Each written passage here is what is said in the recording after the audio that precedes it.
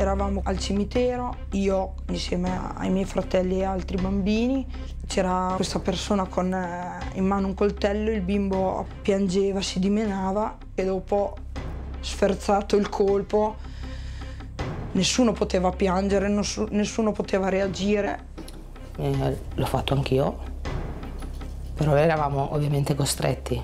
Tu hai ucciso dei bambini? Io ho ucciso un bambino, sì. Abbiamo partecipato a dei riti satanici in cui venivano uccisi dei bambini. Con questo racconto agghiacciante inizia una vicenda che travolgerà una comunità intera. Era inutile che negavamo l'evidenza perché il bambino dice sempre la verità. La loro risposta è quella lì. Se uno non è andato a Roma e un bambino dice che è andato a Roma, tu ci sei andato perché lo dice un bambino. Purtroppo senza prove sono andati avanti a senso unico. Quanto sei stato condannato quanto hai scontato? Ah, io la pena, um, ho scontato una pena di nove anni di galera. Noi eravamo la famiglia etichettata come pedofili e questo ce la portiamo sempre dietro. Hanno scontato anni di carcere, le loro vite, le loro famiglie sono state rovinate per sempre, ma delle accuse nei loro confronti non si è mai trovato riscontro.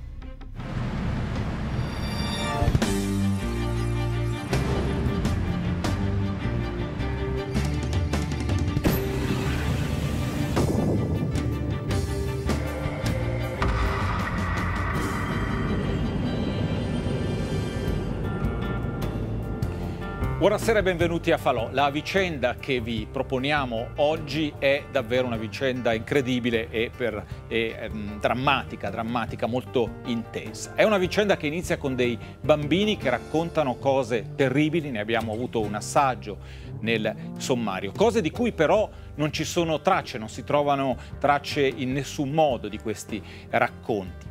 La giustizia però seguirà queste testimonianze e almeno in parte darà delle sentenze che andranno in questa direzione. Centrale in questa storia il ruolo dei servizi sociali e dei loro psicologi convinti che i bambini dicono sempre la verità. Caposcuola di questo metodo, Claudio Foti, psicologo che ha frequentato anche il Ticino per diversi anni ed è anche per questo che noi stasera ne eh, parliamo.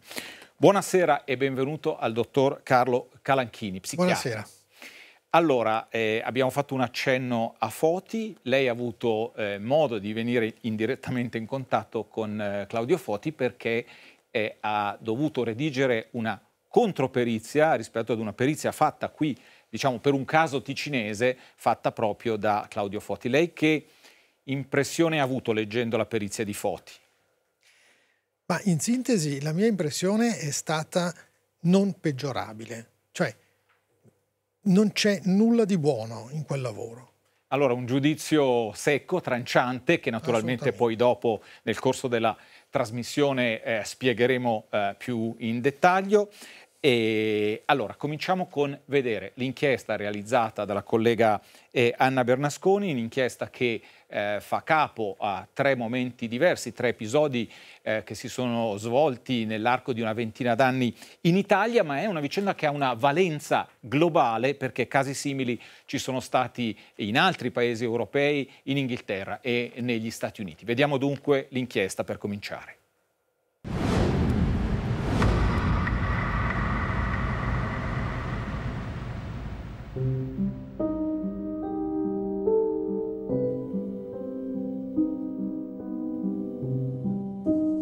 Buio notturno, eh, c'era gente mascherata, eravamo al cimitero, io insieme a, ai miei fratelli e altri bambini, cavavano, dissotterravano le bare che c'erano, dicevano cose particolari, non so se erano invocazioni o comunque preghiere in lingue strane. E poi intorno a noi c'erano questi adulti che ci tenevano fermi perché sai, eh, i bambini più piccoli volevano scappare, volevano andare io mi ricordo che un rito poteva durare poco, poteva durare tanto. E mm, c'era un, praticamente questa persona con eh, in mano un coltello, il bimbo appoggiato sopra un tavolo, un qualcosa, piangeva, si dimenava e noi lì immobili con le lacrime agli occhi senza poter far nulla, quel senso di, di terrore che comunque mi, mi passa ancora per... lo sento ancora vivo addosso e il fatto che dopo sferzato il colpo nessuno poteva piangere, nessuno poteva reagire, nessuno poteva così eh, ribellarsi a quella situazione. E... Però dopo non, non arrivavano spiegazioni, cioè dovevamo solo stare in silenzio come se niente fosse. Dopo un poco si tornava a casa.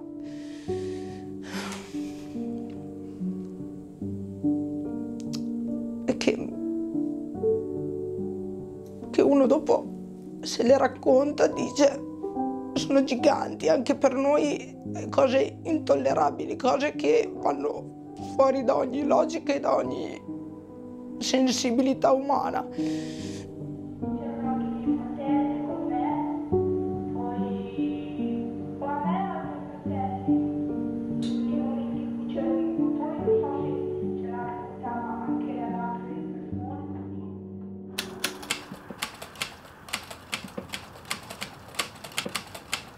Il 12 novembre del 1998 Valeria Covezzi, insieme ai tre fratelli e ai tre cuginetti, viene allontanata dalla famiglia.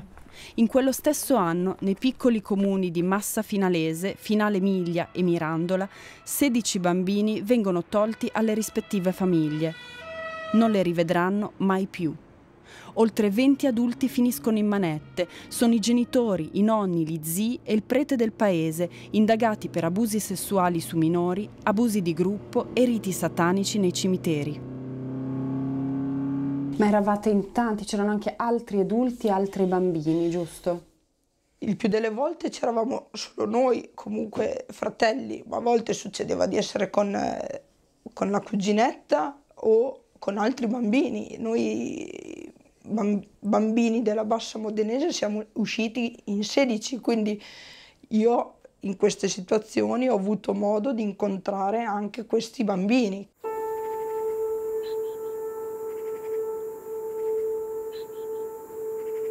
Facevamo parte di un gruppo dove andavamo nei cimiteri perché ci hanno fatto ammazzare dei bambini, e l'ho fatto anch'io, però eravamo ovviamente costretti. Tu hai ucciso dei bambini? Io ho ucciso un bambino, sì. Ovviamente forzata, cioè, mm, mi hanno aiutato, e... però sì. L'hai dovuto fare anche tu? Una volta sì.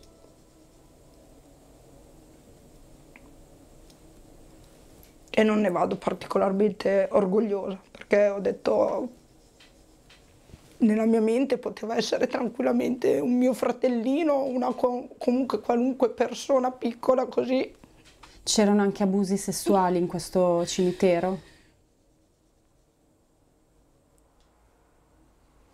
Dipende come, come, gli adulti volevano organizzarsi, nel senso che non c'era uno schema fisso, una cosa da dire mi preparo perché so, perché ogni volta era qualcosa di o nuovo, qualcosa comunque di, di diverso, quindi noi eravamo sempre con il punto interrogativo, il grande dubbio di dire cosa ci aspetta. Ad abusarla sarebbero il padre, i tre zii e il nonno materno. Violenze che avvengono sotto gli occhi della madre, in casa, in capannoni di campagna e anche nei cimiteri. Le stesse brutte cose non le fanno solo a me, ma anche ai miei fratelli, ai miei cugini e ad altri bambini. La vicenda viene chiamata i diavoli della bassa modenese e sconvolge i tre piccoli paesi dove tutti si conoscono. Nell'archivio parrocchiale di Finale Miglia, il prete di allora aveva conservato gran parte dei documenti. Sì, questo è l'archivio, la sede dell'archivio parrocchiale e qui abbiamo raccolto anche i materiali che la documentazione raccolta da, da Don Ertorelli nelle sue indagini sul, sul questo episodio, su queste tristi cose, diciamo.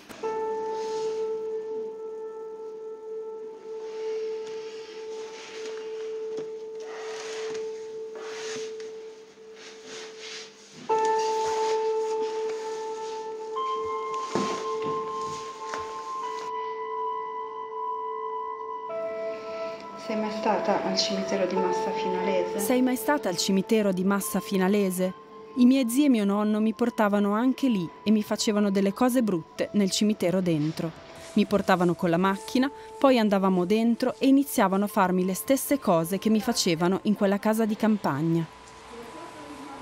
Dopo che ci hanno fatto impronte digitali, fotografie, mio fratello ha detto, "Ah, ma perché siamo qua?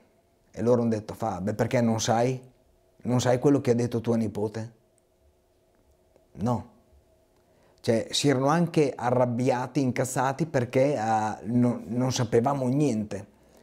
Alla fine dopo ci hanno detto, fa, ma voi avete l'avvocato?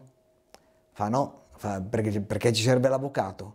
Io ho letto il mandato di cattura in galera e praticamente tutto quello che c'era scritto non faceva parte della mia vita, tantomeno quella dei miei familiari.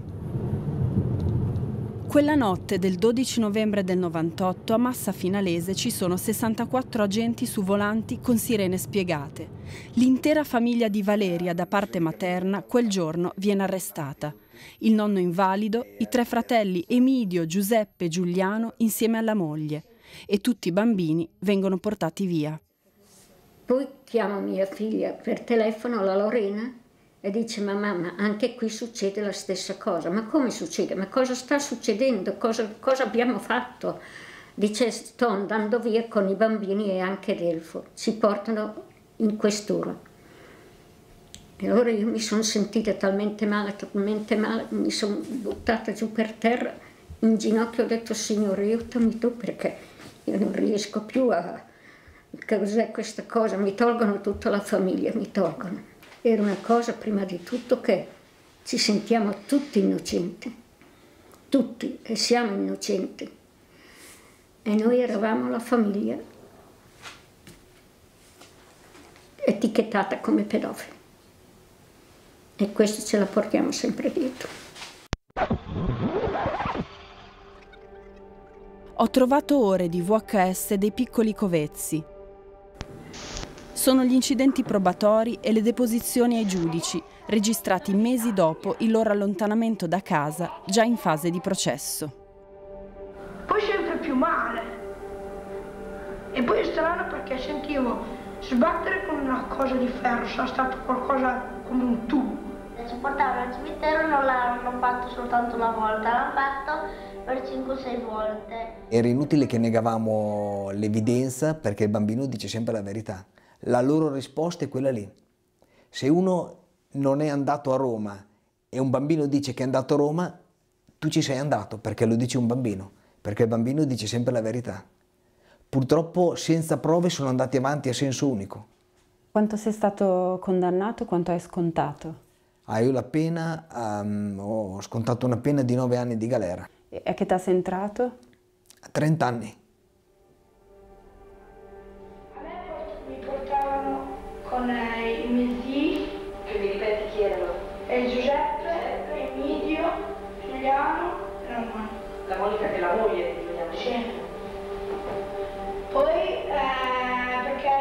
Sempre un eh, bambino alla bambino. Quello che hanno detto i miei nipoti non è farina del loro sacco.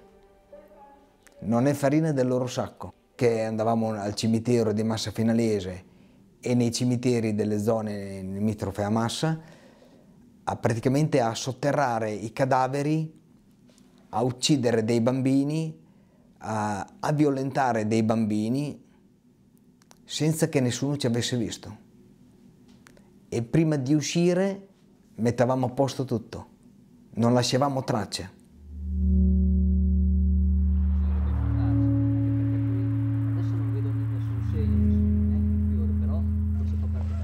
Dunque, io posso anche raccontarvi sì, come è passato il funerale di mia moglie, perché mia moglie è morta in carcere. Sì. La Roda Monica aveva 38 anni e purtroppo se n'è andata, io conservo a casa tutte le sue lettere, Mhm. l'ultima che mi ha scritto era un mese prima di morire. Giuliano è il maggiore degli zii di Valeria. Anche sua figlia accuserà di abusi sessuali lui e sua moglie Monica, morta in carcere senza aver mai più rivisto i due figli. Entrambi stavano scontando 11 anni di condanna. Poi dopo l'ultimo colloquio che ho avuto con lei non riusciva a formare una frase. Abbiamo passato un'ora lì, c'era la guardia lassù che girava sulla torretta, controllava tutti. Poi dopo sono venuti, venuti a prenderla e io lì l'ho vista per la penultima volta e l'ultima volta l'ho vista nella cassa. Su questo stesso terreno dove sarebbero stati violentati i bambini e versato il sangue dei sacrifici, oggi sono sepolti gli accusati di questa storia. Questi due angioletti qui li ho messi io per ricordare due figli. Questa qui è una targhetta che la puoi filmare da vicino anche. Ti ho sempre amato. Ora dal paradiso puoi vedere i tuoi figli tutti i giorni. Tuo marito Giuliano. C'è uno di San Felice appunto che lui fa queste cose qui e mia mamma la fece fare la pose sulla tomba di mia moglie. Ed è il pensiero che mi sono sempre portato anche in carcere.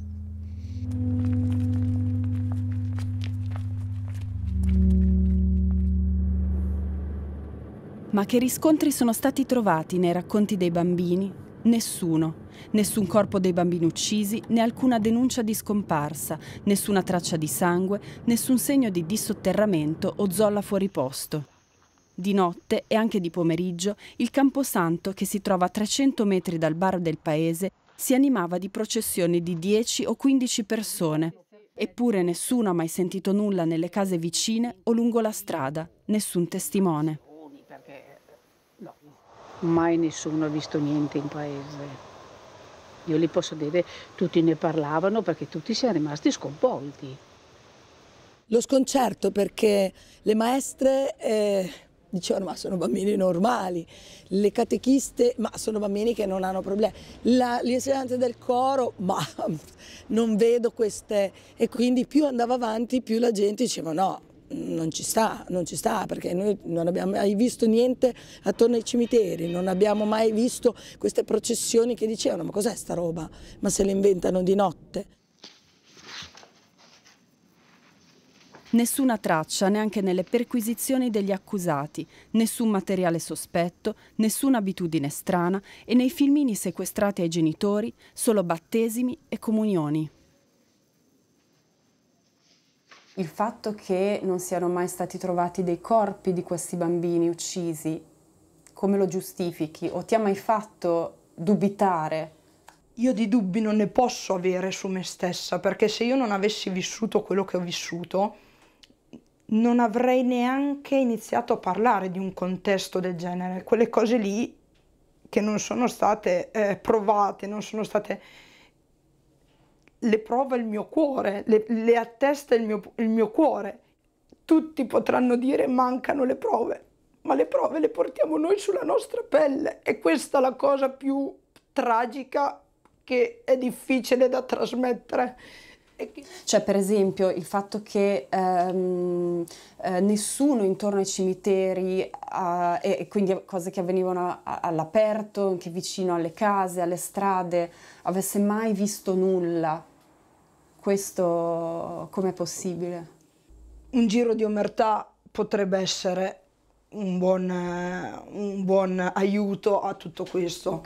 Poi io non ho le prove per testare che tutto il paese fosse omertoso e io non mi prendo questa responsabilità di dirlo. Ok, non ci sono le prove, però le prove, cioè, cioè, si possono cancellare, si possono fare di tutto.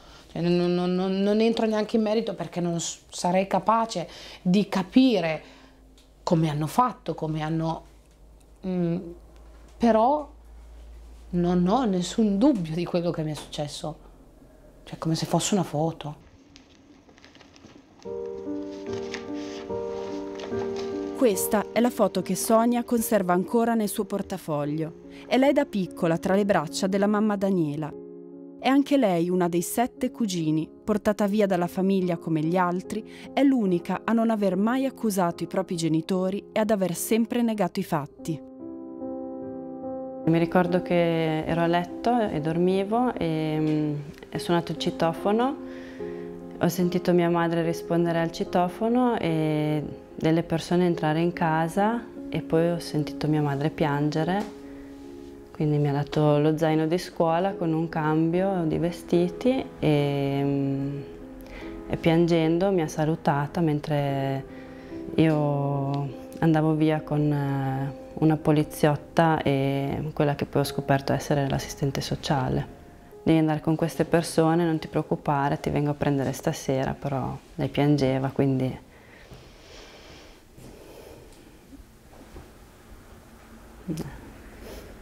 Non ti è mai venuta a prendere Eh la no, sera? non è mai più tornata a prendermi. tutto quello che ti serve per disegnare. Qui c'è la Valeria, va bene? Che ti conosce, che ti ho sentito tante volte, eh? Va bene. Nel ruolo di psicologa dei servizi sociali c'è una giovane appena laureata, Valeria Donati. Mette in galera le persone cattive. In queste immagini la vediamo assistere il bambino che all'interno della vicenda della Bassa Modenese ha parlato per primo durante un interrogatorio col giudice. È lei a seguire tutti i bambini di questa lunga inchiesta fin dall'inizio. Cioè, mi diceva che i miei genitori mi facevano del male perché mi facevano eh, delle cose nella patatina e nel sederino piuttosto che andare nei cimiteri di notte e, e accusavano mio padre soprattutto di queste, di queste violenze e mia madre invece di essere la complice che lo, in un qualche modo lo proteggeva. E tuo padre ti ha mai fatto del male? No. Io mi ricordo in dieci anni che sono stata a casa, mi ricordo due sberle. O altre persone ti hanno mai fatto del male, del- di quelle persone che erano citate? No, io la maggior parte non le conoscevo neanche, quindi no, nessuno mi ha mai fatto del male. I bambini venivano tolti sulla base di un sospetto, messi in affidamento in casa famiglia e dopo mesi di colloqui con gli psicologi emergevano le accuse contro i genitori.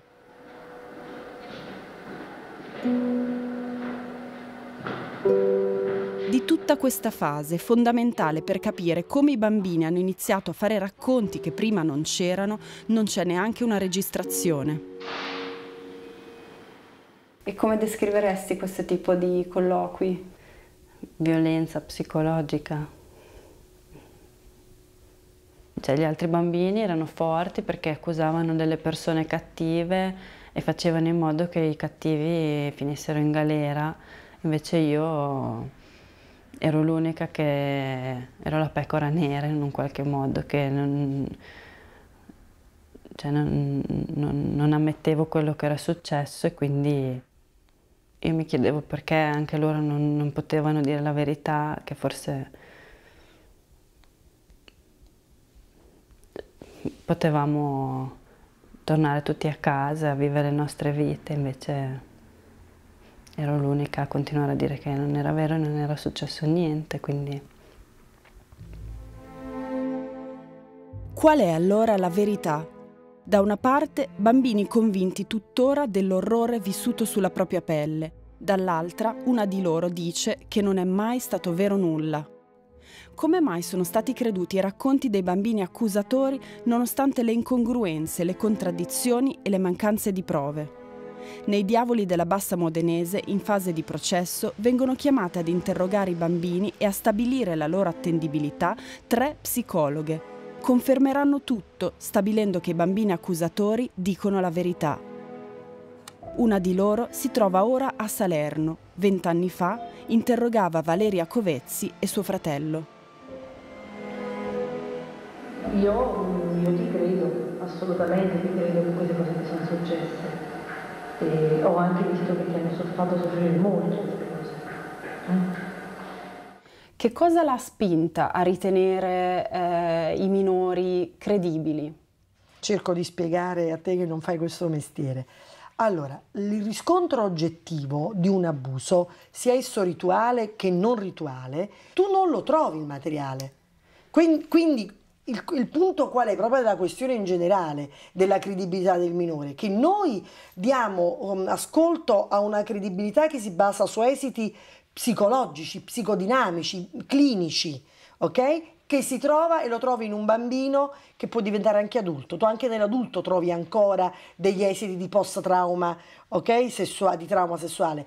Ma se noi parliamo di segni, uh, come dire, obiettivi, no? no? Non trovi dopo nemmeno tre giorni trovi più del materiale seminale nelle vagine delle bambine. Certo, però uh, parliamo di cimiteri, sì. gruppi di bambini che entravano sì. nei cimiteri, sì. eh, terra, tombe scoperchiate. Sì, parliamo anche di eh, bambini sangue, uccisi, gatti, di neonati bambini... uccisi, parlavano questi bambini che Ma ho lei io. le ritiene credibili? Non sono mai stati trovati riscontri, non è mai stato trovato allora. un corpo, una traccia di sangue, terra smossa nel cimitero. Questi sono. Ma che ci vuole a far sparire un corpo? Cioè, voglio dire, finché l'opinione pubblica no, rimane, come dirti, um, bisognosa di credere a un bambino che parla di certe cose io ti ho spiegato prima, è, è molto complessa fare una psicodiagnosi. Se noi però come liberi cittadini, non esperti, diamo la credibilità solo se si trova il cadavere o se si trovano come dire, i vestiti no, con cui loro si mascherano, oggetti con cui, con cui loro si o i filmati, ma allora i bambini non saranno creduti mai. Ma i bambini sono sempre credibili? O possono talvolta non dire la verità o essere indotti a dire ciò che gli adulti vorrebbero sentirsi dire e in ultimo suggestionarsi su come sono andati i fatti fino a scollarsi totalmente dalla realtà? E il modo di interrogarli quanto può guidare le loro rivelazioni e determinare la loro verità?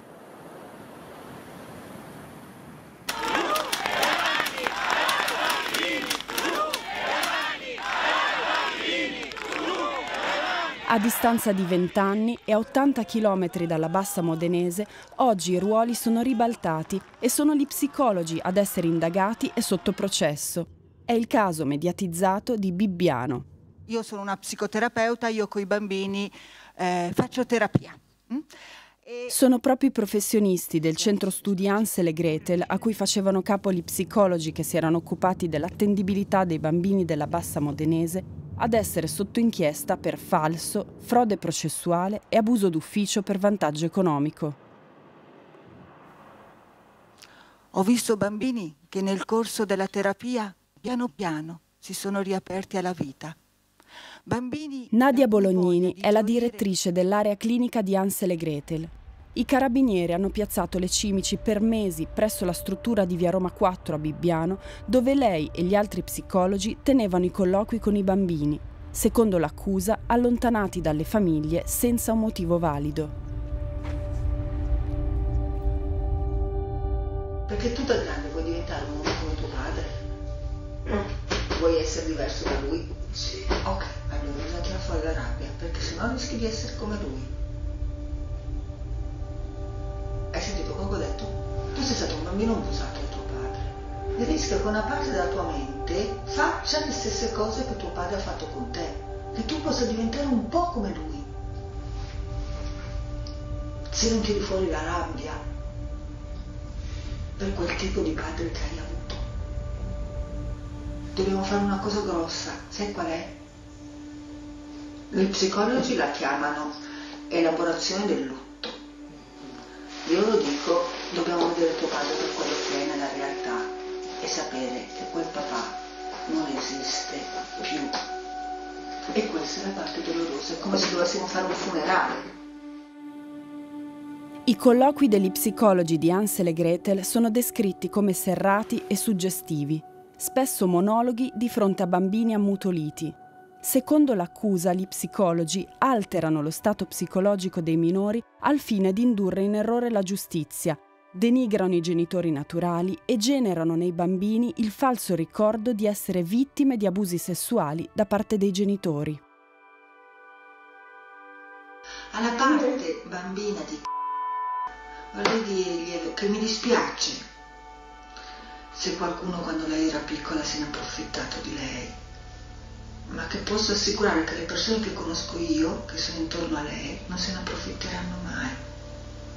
Però voglio che quella bambina piccola sappia che mi dispiace che qualcuno abbia approfittato del fatto che lei era una bimba.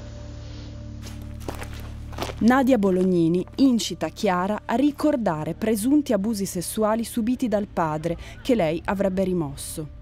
Alla bambina però mancano i genitori dai quali è stata allontanata. Mi ricordo perché non li posso più vedere. Una volta ho visto mio padre, poi però ho detto che lo rivedrò nel prossimo mese così, poi però alla fine non l'ho più visto. Ma non ti ricordi anche che avevi detto che non la volevi più rivedere? Io ricordo questo. No, non ho detto questo. E ogni, ogni tanto mi capitava di piangere perché, perché magari mi mancavano gli abbracci del papà. Mm-hmm. E perché i suoi abbracci sono. Cioè mi piacciono, perché sono. E quindi mi dispiaceva non. cioè pensare di non vederlo più e, e quindi alla fine non potevo più abbracciarlo così. Nel caso di Bibbiano sembra tornare lo stesso metodo usato nella bassa modenese vent'anni prima. Sempre gli psicologi di Ansel e Gretel o formati da quella scuola, convinti che i bambini fossero vittime di abusi sessuali. Una convinzione di cui vengono intrise anche le famiglie affidatarie. Le due donne a cui è affidata Chiara vengono intercettate nella loro auto. Lo sai perché ti viene? Perché quella cantina lì la devi svuotare! La devi svuotare! Perché sta facendo stare male te e tutti quelli che ti sono vicino! Vai dalla Nadia e parli di quanto ti sgridiamo, anziché dire io sono così perché mi è successo questo. Dai, dillo! Eh no, perché c'hai torto! No, è inutile, è inutile. No, no! Perché tu dai, dai, dillo! Perché tanto tu pensi, io non posso dire, tu sai già quello che penso. Dai, paraculati come al solito. Certo, dai, dillo! Adesso, ah, certo. Quando non posso dire niente, sei sempre tutto tu, dillo. Dai, dillo. Dillo. Hai ragione tu, certo. Sì, adesso io ho ragione io. Certo, hai ragione tu, perché hai 11 anni hai ragione tu. Sai come va il mondo e tutti quelli che ti sono vicini sono cattivi. Beh, ma una volta posso avere anche ragione, eh? Non è che adesso. Porca puttana, vai a scuola a piedi! Porca puttana, scendi! Scendi! Non ti voglio più! Io non ti voglio più! Scendi! Scendi! Consapevolezza ed amore, i fondamenti della cura, l'amore, è una parola che non ricorre nel linguaggio scientifico, ma credo che abbia una forza di sintesi. Direttore di Ansel e Gretel e fondatore del metodo è Claudio Foti, marito di Nadia Bolognini. Entrambi sono indagati nell'inchiesta di Bibbiano. Foti ha lavorato anche come giudice per i minorenni e come perito in numerosi processi in tutta Italia. Sì, sono stato accusato di questi turpi reati che poi alla fine non c'era neanche una prova, ma dicevano che mi ero masturbato davanti a loro, avevo fatto alle bambine avevo fatto dei, dei giochi a sfondo sessuale, però poi alla fine tutto si dimostrò un grandissimo bluff, perché io queste cose non solo le ho mai fatte, ma non le ho neanche mai pensate. Questo padre è stato assolto dopo dieci anni di processo. Le due figlie, pur non avendolo mai accusato direttamente, non vogliono più vederlo. Tutto inizia dopo la separazione dalla moglie, quando entrambi vivevano a Salerno. Le bambine frequentano uno psicologo che inizia a rilevare in loro un atteggiamento sessualizzato, prova, a suo avviso, di abusi subiti dal padre. Questo psicologo è Mauro Reppucci, marito di Sandra Pagliuca. Mimava il gioco, Eh, eh, che lei ritiene un gioco sessuale. ma non- Sempre, sai, saltellare eh, come dire, sui genitali è un gioco sessuale, mettersi eh, nel gioco stesi sul divano con la farfallina in faccia a papà e la, la faccia su- su- su- vicino al pisello, eh, che cos'è? Non è un gioco sessuale. Cioè non è che ci vuole chissà quanto. Nell'intero materiale le bambine non accusano mai il padre né raccontano gli abusi. per gli psicologi, sono messaggi mandati col corpo e coi gesti, ma inequivocabili. Anzi, Reppucci afferma che le bambine possano aver subito abusi di gruppo con coinvolte più persone, mai trovate, vestite da Biancaneve. Suonavamo la chitarra, qualche volta disegnavamo. Cioè avete molto contatto fisico? Ma no, magari mi ricordo che mi sedevo sul divano e loro mi saltavano addosso, ma se ne andavano via su, no, no. Per l'urgenza che c'era in quel momento, dopo un mesetto di averle viste, è fatto relazionato che andava approfondita la cosa, ma per approfondire andavano messe, diciamo, eh, sotto tutela, non dovevano avere l'ansia, l'affanno, l'assillo che dovevano stare col papà, perché se non si attiva la tutela il bambino non racconta. Come perito delle minori, a sostegno delle interpretazioni di Reppucci, entra in scena Claudio Foti con una memoria pro veritate di 250 pagine. Le minori mostrano senza dubbio comportamenti molto ricorrenti tra minori abusati. Esattamente questo minuto del video è descritto così. La bambina fa un ballo sensuale tenendo sempre le mani. L'atteggiamento è inequivocabilmente estraneo ad un atteggiamento infantile e presuppone un forte condizionamento adulto erotizzante. Per Foti, il trauma sessuale è indiscutibile e sarebbe una violenza delle istituzioni mantenere i contatti tra le figlie e il padre. E io con questa relazione pro veritate di Claudio Foti mi sono trovato a fare un processo di sette anni, dieci in totale. Per la perizia della controparte, però, nell'intera durata dei video non c'è traccia di atteggiamenti sessualizzati da parte delle bambine. Nelle lunghissime sedute da Reppucci, le bambine, annoiate e distratte, salgono e scendono dal divano e, appassionate entrambe di danza, mimano semplicemente dei passi di ballerina. Poi è finito? E Che effetto le ha fatto vedere i video del... Li, li ho iniziati a vedere quasi 5-6 mesi dopo, non avevo la, la forza di, di vederli. Sinceramente è una cosa agghiacciante, terribile. Cioè vedere questo che in tutti i modi abusa della mm, minore età del- dell'infanzia delle tue figlie cercando di fargli tirare fuori, far tirar fuori loro qualcosa che ti potesse accusare. La cosa che l'ha colpita di più di questi tentativi di tirare fuori? La freddezza di Reppucci. Voleva far trasparire, far vedere che tutto era un reato, quindi che c'era in ogni caso c'era un qualcosa a carattere sessuale. Ma a me dispiace soprattutto il fatto che eh, quelle bambine hanno, come dire, perso completamente il padre perché eh, potrebbe fare una confessione spontanea, sarebbe la cosa migliore, al di là delle prove che non hanno trovato, della verità giuridica. A me dispiace che, che lui non abbia avuto un movimento interiore di dire ma io ho fatto, le ho usate queste figlie, no?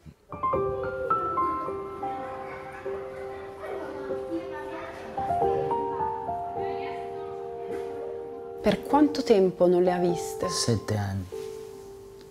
Nessuna notizia di loro, niente. Se adesso mi trovo con tutto risolto, assolto con formula piena, ormai il processo è passato in giudicato da cinque anni eh, e mi trovo con un rapporto ancora a brandelli. Ma lei si è mai confrontato su questo punto con le sue figlie? Ci sto provando, sì, e mi risulta sempre molto difficile. Eh, ho provato anche a scriverle, non lo so se il termine appropriato, ma hanno una sorta di cervello lavato, nel senso che loro per eh, una decina d'anni hanno sentito parlare male di me e basta. Di conseguenza, insomma, queste bambine sono ancora convinte che io sia un mostro.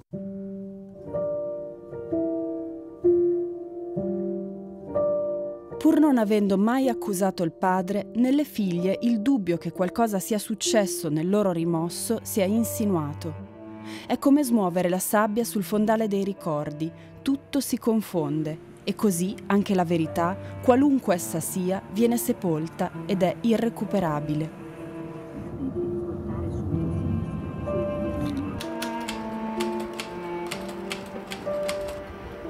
Si deve andare in un piccolo comune di valle nel Biellese per ritrovare il primo caso seguito da Foti ed Ansel e Gretel, dove un'altra tragica storia giace sepolta ancora in attesa di verità.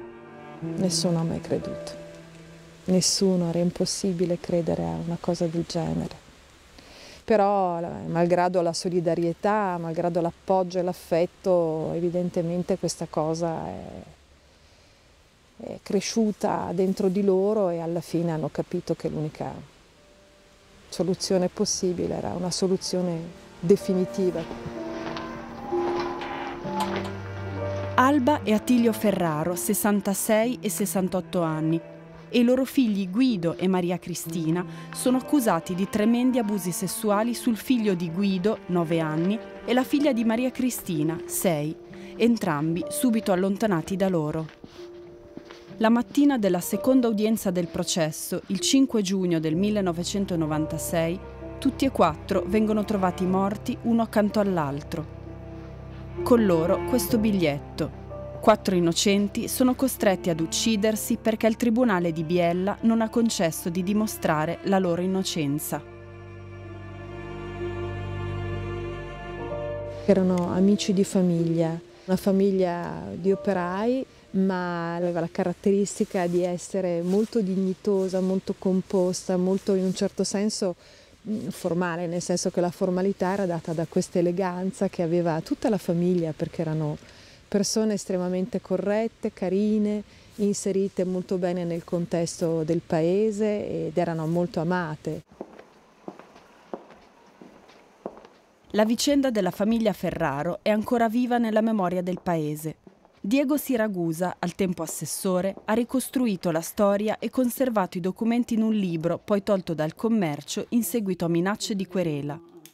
La perizia psicologica di 125 pagine sui bambini, su cui si basa tutta l'accusa, è firmata da Claudio Foti e dalla sua moglie di allora, Cristina Roccia. Durante un interrogatorio del dottor Claudio Foti al bambino, questi disse, dice a Sagliano, nella casa dei nonni, c'è una botola sotto il letto. Sotto il letto mio nonno ha delle armi, ci sono delle cassette pornografiche videoregistratori. Vanno a Sagliano, spostano tutti i letti, ma non c'era nessuna botola sotto il letto, non c'era nessun passaggio segreto, non c'erano armi, non c'erano videoregistratori, non c'erano cassette pornografiche. Nei consulenti c'è questo dogma assoluto che il bambino ha sempre ragione, dice sempre la verità. I racconti del bambino accusatore sono pieni di contraddizioni. Per ben due volte ritratta, dicendo che sono bugie per difendere la madre in una separazione conflittuale. La cuginetta, più piccola, non dirà quasi mai nulla. Nessuna prova, nessun riscontro nei fatti.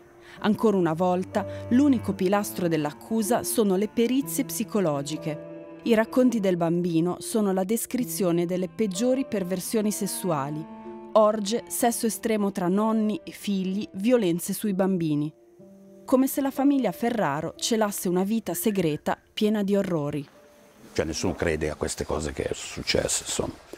Ho accusato ingiustamente queste persone, evidentemente.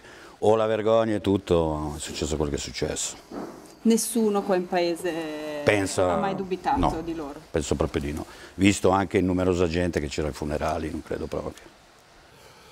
E sono arrivato qua col furgone che il signore qui, Giovanni, mi ha detto non finila, non finila, non capivo cosa voleva dire, in piemontese mi ha detto, eh, vorrei dire, si erano suicidati, era appena successo, si sono trovati, è lì che si rimane male. Tutto degenera quando il pubblico ministero decide il rinvio a giudizio. Fanno una audizione protetta loro stanno dalla parte dello specchio dove non possono essere visti, nel momento in cui gli imputati dall'altra parte del vetro assistono a questa scena, hanno capito che il processo ormai è finito. Infatti vanno a casa della sorella della nonna, di Maria Rigolone, e dicono i bambini ci hanno accusato. Nonno Attilio dice ci, ci metteranno in galera ci sono scene drammatiche, scene di pianto che Maria Rigolone mi ha raccontato. Loro poi sono tornati a casa, hanno preso la decisione, hanno indossato i loro abiti migliori, si sono chiusi in macchina e poi con il tubo di scarico Guido ha acceso la macchina, si è messo lui al volante, accanto a sé la sorella, Maria Cristina, e i genitori dietro.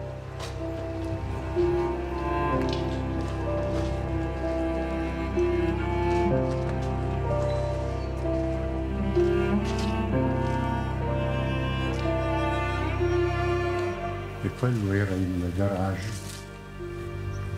dove sono stati trovati. I carabinieri avevano messo lo sbarramento qui con Sì. la striscia bicolore, in quanto era tutto sotto sequestro.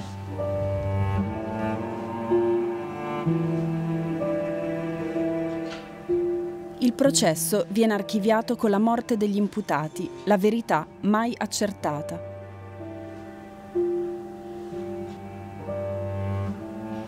Cristina Roccia, che insieme a Claudio Foti ha costituito il fondamento dell'accusa contro la famiglia Ferraro, è una delle tre psicologhe che esattamente l'anno successivo si occuperà delle perizie dei bambini della Bassa Modenese. Alessandra Pagliuca, Cristina Roccia, Sabrina Farci.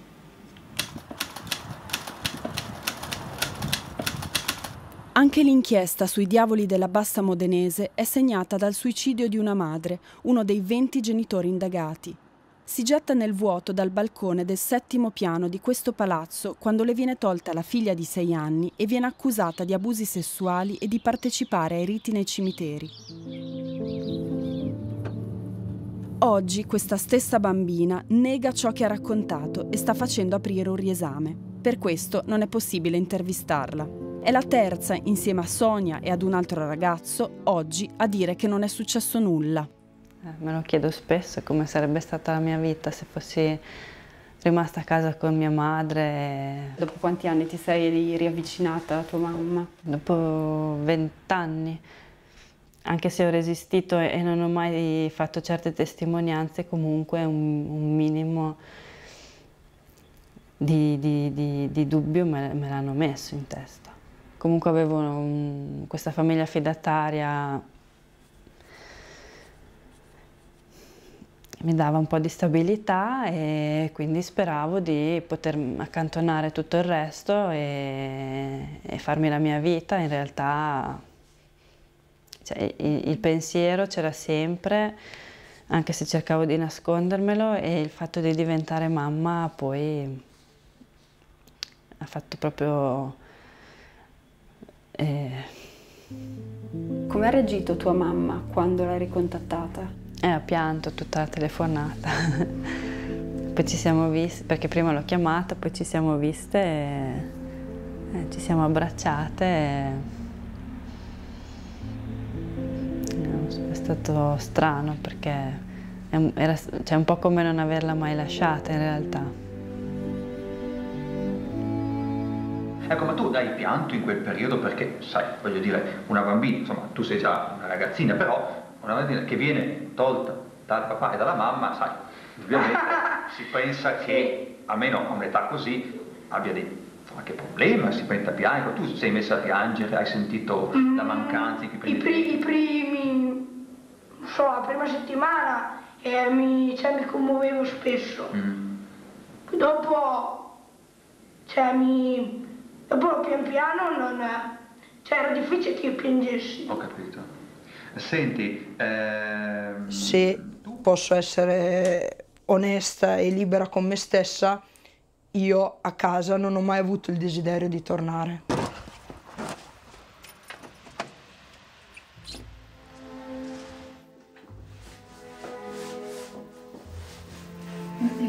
Questa è la camera che era di Delfina e della Lorena. Loro sono scappati sostanzialmente abbastanza veloce- velocemente, Sì, no? sì, sono sì. proprio... Poi Hai- Qui c'è la stanza che era dei, dei loro figli.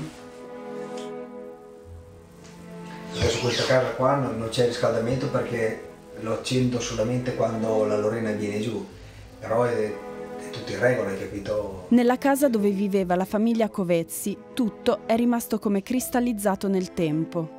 Tra i pupazzi che attendono nella plastica riconosco i giochi e alcuni libri, sono gli stessi della mia infanzia. Disegni appesi, biglietti d'amore per la mamma Lorena.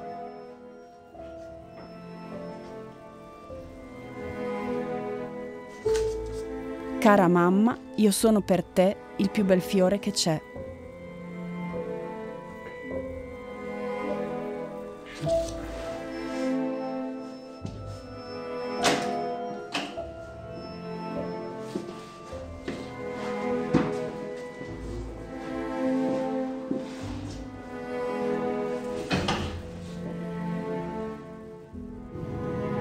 Torneranno più i quattro bambini e non torneranno più la mamma Lorena, incinta, e il papà, costretti a fuggire con l'aiuto dei frati per dare alla luce il loro ultimo figlio che altrimenti sarebbe stato tolto anche lui dagli assistenti sociali.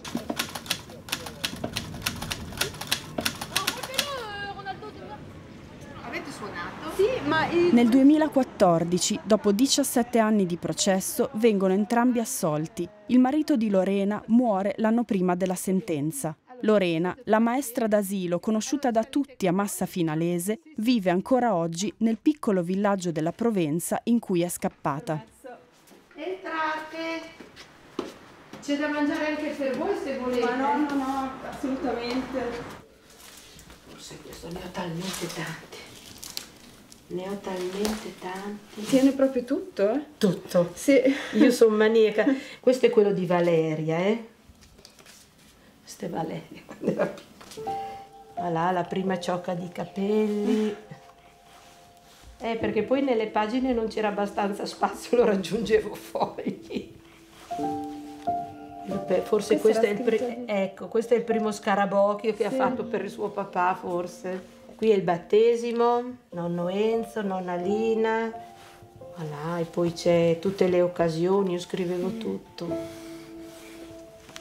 Ma questa è Valeria quando era piccola.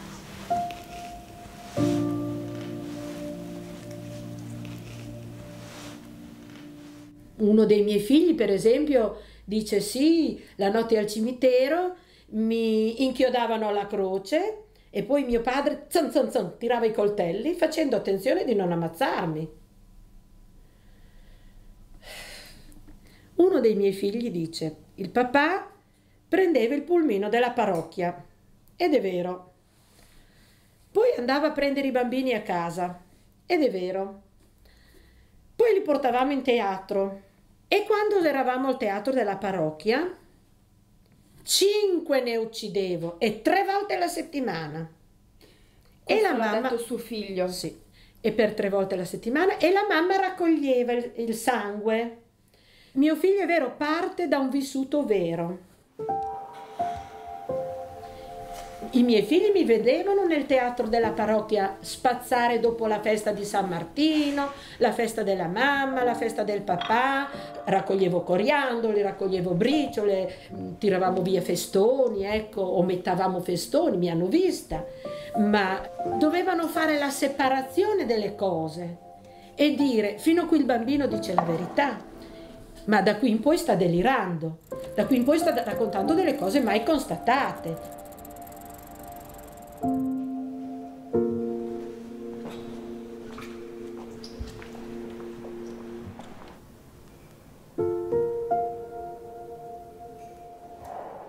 Dico ai miei figli ragazzi, per il vostro bene, per la vostra libertà, fatevi delle domande, cercate.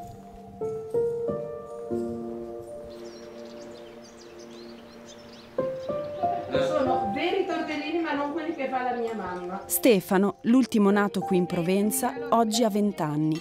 Matilde è la sua ragazza. Lorena non ha mai più rincontrato i suoi quattro figli, tolti all'età di 11, 9, 7 e 4 anni. Allora, e lì c'è il parmigiano. E voilà. Qu'est-ce qu'on mange en Provence L'aioli, L'aioli, la bouillabaisse, la bouillabaisse, euh, les tomates euh, à la provençale, salade niçoise. la salade. niçoise. E voi come avete conosciuto la nostra storia? Questa dunque è la nostra inchiesta che finisce con un raggio di sole, ma che certamente evoca episodi drammatici dai quali, va detto, nessuno esce indenne. Allora, adesso ci colleghiamo con Firenze, dove troviamo la professoressa Giuliana Mazzoni. Buonasera, benvenuta. Buonasera a voi, buonasera. Allora, la professoressa Mazzoni insegna alla Sapienza di Roma, una studiosa della memoria, specializzata in particolare nella psicologia della eh, testimonianza. Professoressa, come prima cosa le vorrei chiedere questo. Facendo astrazione da quello che abbiamo visto, in linea puramente teorica, eh, ci può spiegare come qualcuno può ricordare una cosa che non ha mai vissuto? Certo, volentieri, anche se devo dire che vorrei premettere dicendo che tutto il mio rispetto va a questi ragazzi che dopo aver vissuto quello che hanno vissuto, qualunque cosa sia successa loro all'inizio, in realtà sono stati poi in grado di ricostruirsi una vita e a questa vita, secondo me, hanno diritto.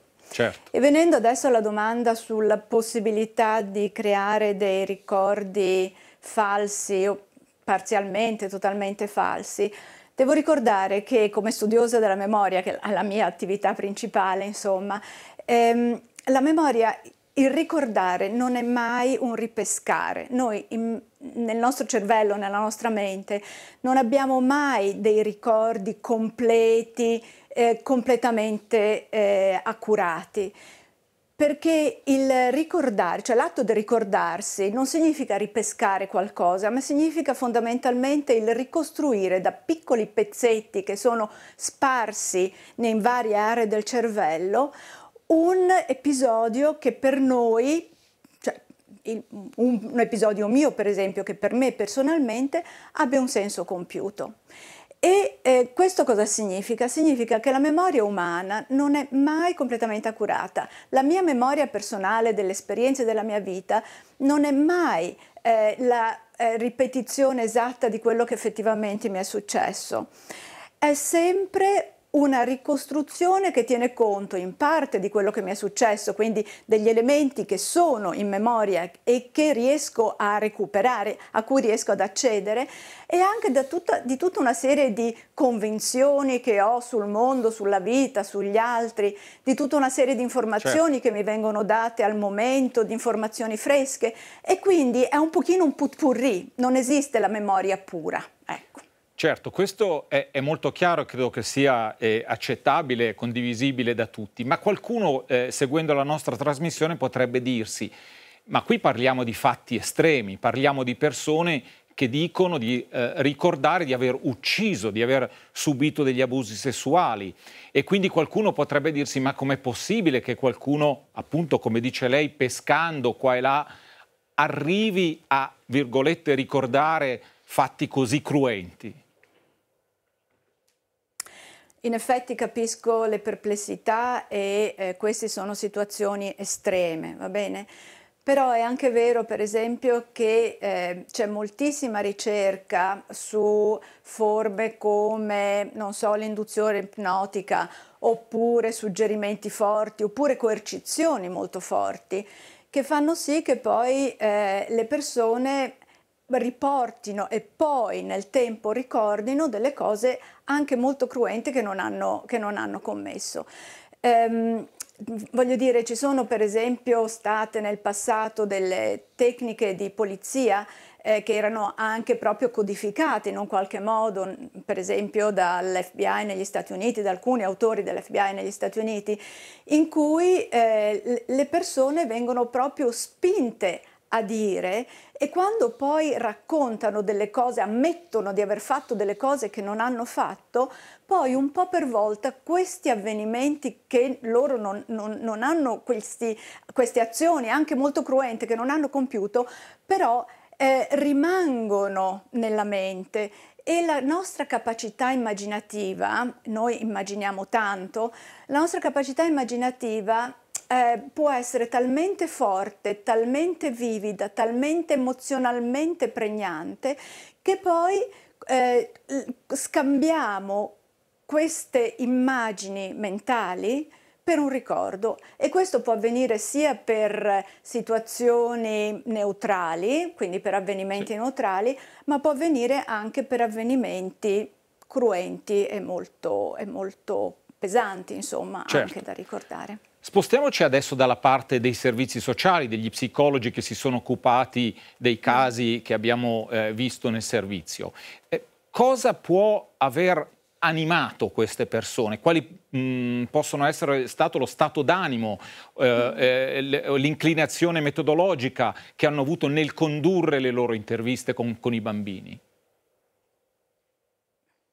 Sì, io credo, ritengo che lo stato d'animo sia stato una, uno stato d'animo, tra virgolette, positivo, nel senso che ritengo che eh, gli psicologi si siano mossi nell'ipotesi che questi bambini andavano protetti ad ogni costo, ancora prima di avere delle prove, va bene?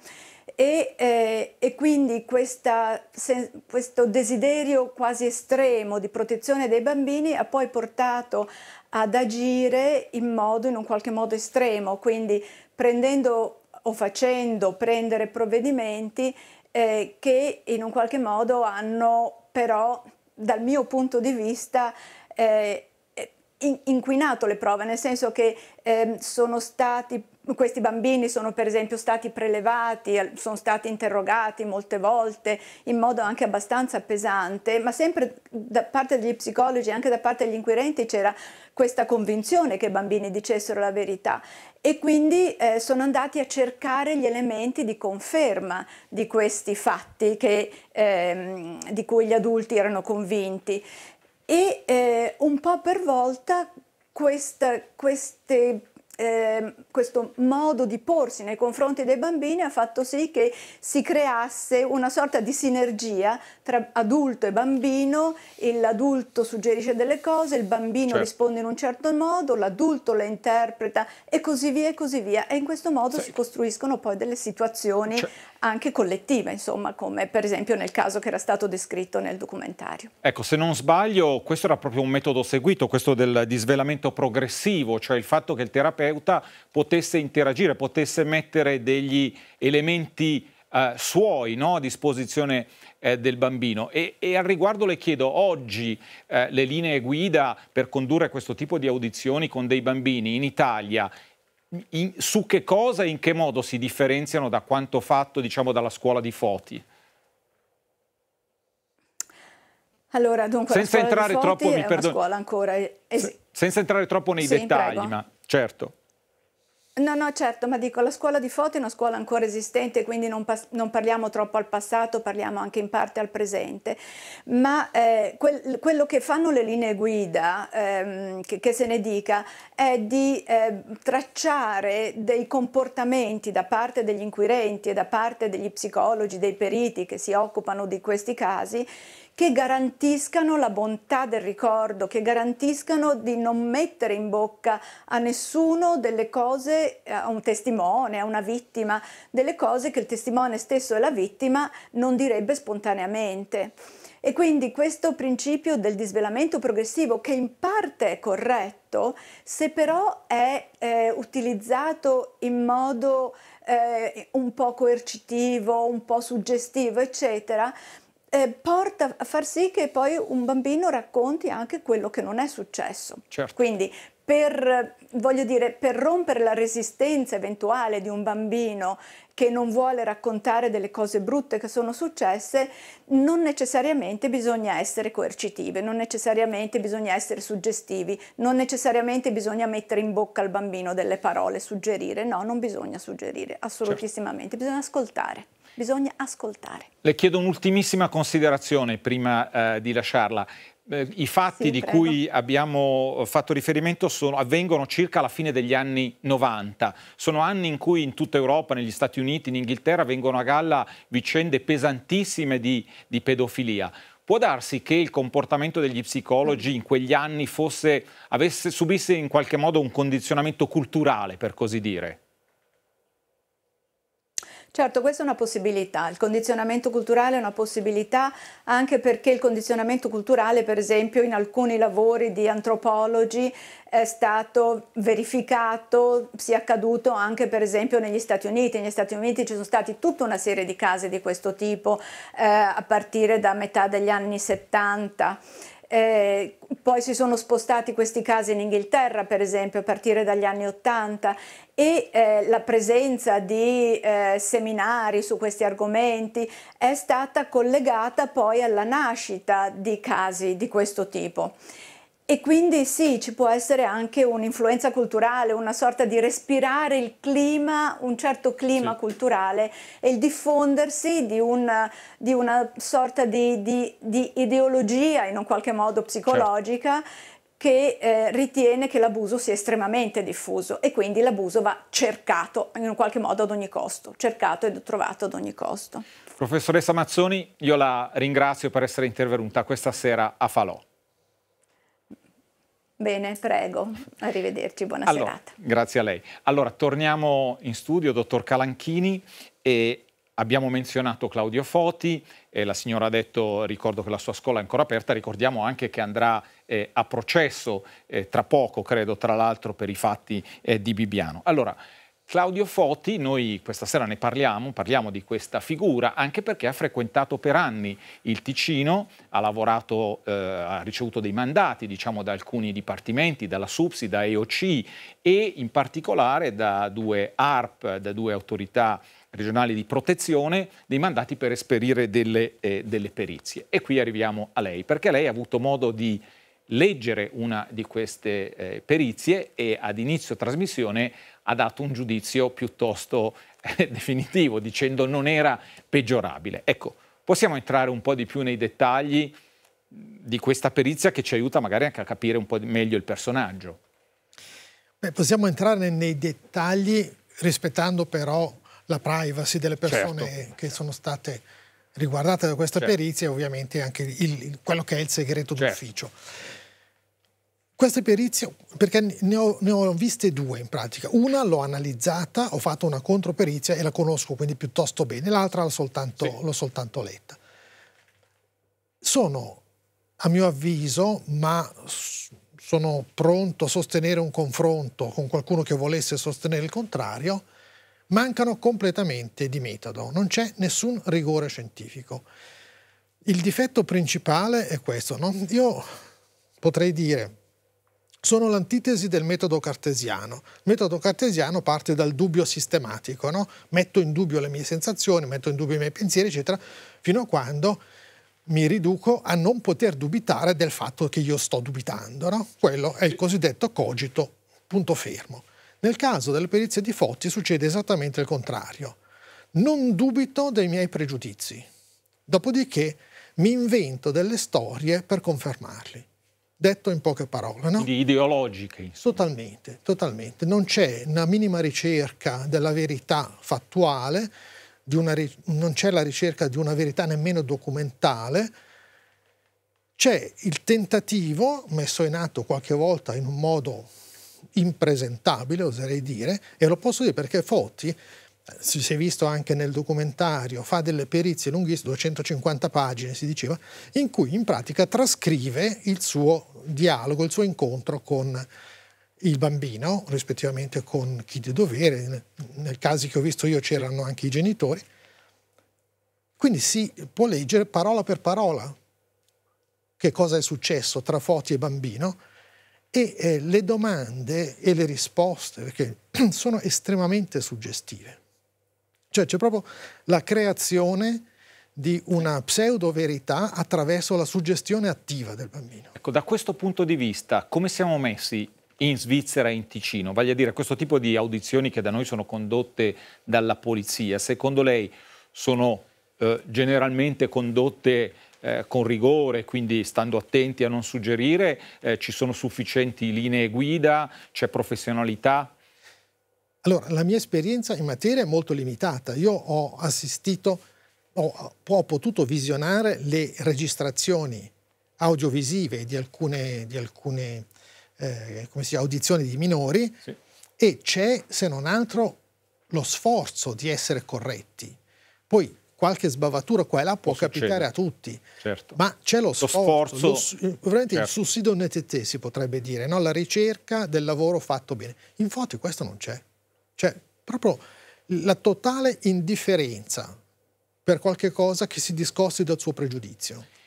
Quanto può eh, pesare una perizia? Perché qui abbiamo visto nel filmato dei casi, ma eh, ribadiamo, non è che ci stiamo eh, fissando su questo caso particolare, abbiamo detto sono vicende che hanno una valenza globale, in cui c'è una perizia che dice una cosa e eh, ci sono tutta un'altra serie di elementi che dicono il contrario. Lì si diceva eh, che i bambini avevano fatto questi racconti e poi c'era una totale mancanza di elementi, di riscontri eh, sul terreno. C'era una comunità che diceva ma no, non è possibile, escludiamo che queste persone... C'erano addirittura altri bambini che smentivano i primi, quindi tutta una serie di elementi che puntavano in una direzione e dall'altra parte esclusivamente la perizia che andava in un'altra. Ecco, che, e, e- e nel caso italiano in particolare la perizia ha finito per imporsi perché ci sono state delle condanne, dei processi, anche che poi eh, col tempo si sono rivisti questi giudizi. Ma che peso può avere una perizia? Di nuovo torniamo al nostro contesto.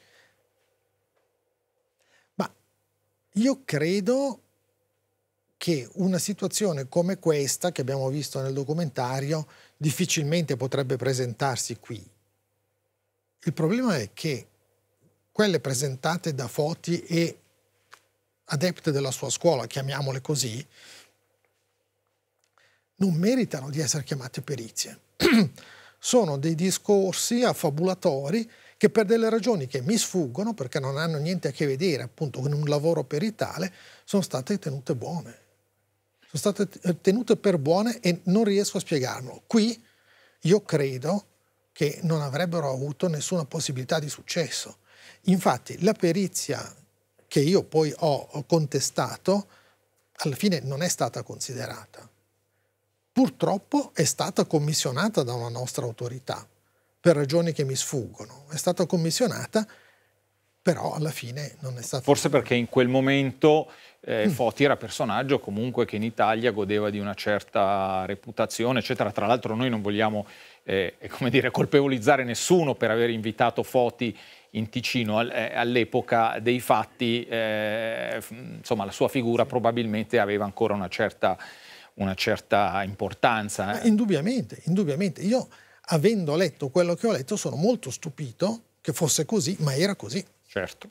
Eh, I servizi sociali in queste vicende in generale hanno un ruolo eh, delicatissimo e, e quindi mh, insomma delicato e, e spesso si devono affidare a degli esperti. Insomma, si, si riesce a stabilire quale può essere, per così dire, la verità. no? Abbiamo un padre e una madre che dicono cose diverse rispetto a quello che è successo al figlio. Ecco, con che spirito deve intervenire l'esperto per dare a chi deve decidere degli elementi di valutazione? Beh, sa, non bisogna confondere il ruolo del perito con quello dell'inquirente. Quindi l'accertamento dei fatti compete all'inquirente, che è la polizia, che è il, il Certo, magistrato, eccetera. certo. In ogni caso eh, non, non è compito del perito. Il perito può cercare di stabilire in certi casi la credibilità, ma la perizia di credibilità adesso non si fa praticamente più, oppure può cercare di stabilire se il presunto autore è psicologicamente disturbato in un modo tale che si possa spiegare quello di cui è accusato, no? o eventualmente nel caso che si entri poi in un, in un ambito penale eh, si, che si, possa in qualche modo giustificare una imputabilità scemata in qualche modo. Certo.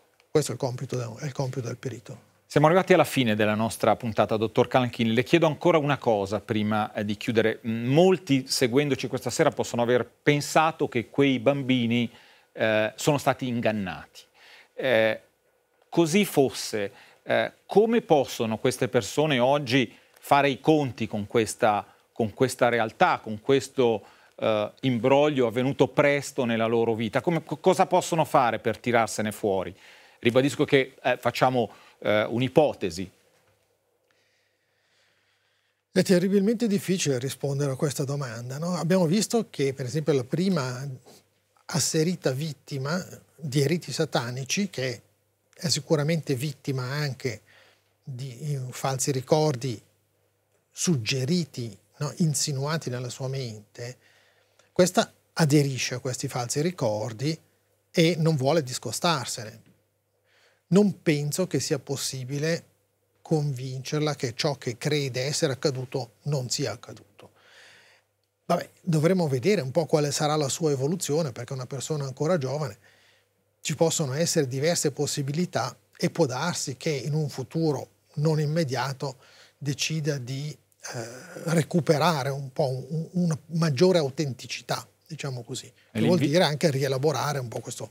L'invito che le fa la madre è proprio quello di farsi farsi delle domande, no? Sì, farsi che delle forse domande. È, è l'invito che possiamo sì. fare anche noi, perché evidentemente la eh, verità assoluta eh, non ce l'abbiamo, ma eh, è sicuramente opportuno farsi delle domande rispetto a queste vicende. Assolutamente.